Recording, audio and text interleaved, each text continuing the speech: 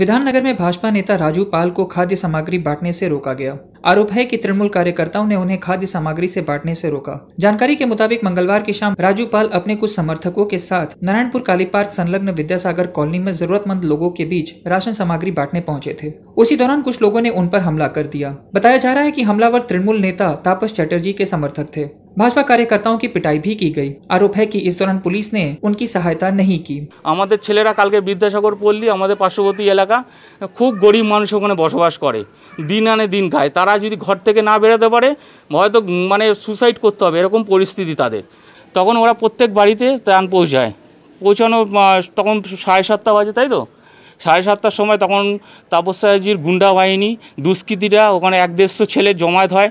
আমাদের থানার প্রশাসনও ছিল সামনে।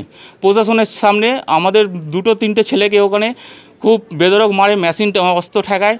ঠেকিয়ে এখানে বলে যে সব্যসাচী দত্তের নামে কোনো ত্রাণ দেওয়া যাবে না, রাজুপালের নামে কোনো ত্রাণ দেওয়া যাবে না।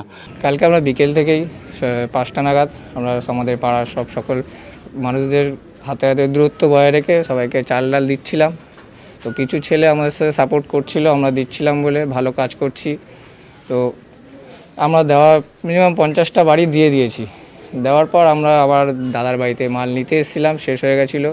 তো তার মধ্যেই জানতে পারি যে পাড়ার মধ্যে দুটো আমাদের ছেলেকে যারা সাহায্য করছিল, তাদেরকে মারধর করেছে এবং সব ছেলেমেলে জ- জমায়েত করেছে। ওরা ফোন করে ডেকে সবাই মিলে ঠেট ফেট দিয়েছে মানে মারধর করে মুখ ফুক ফাটিয়ে দিয়েছে দুজনকে।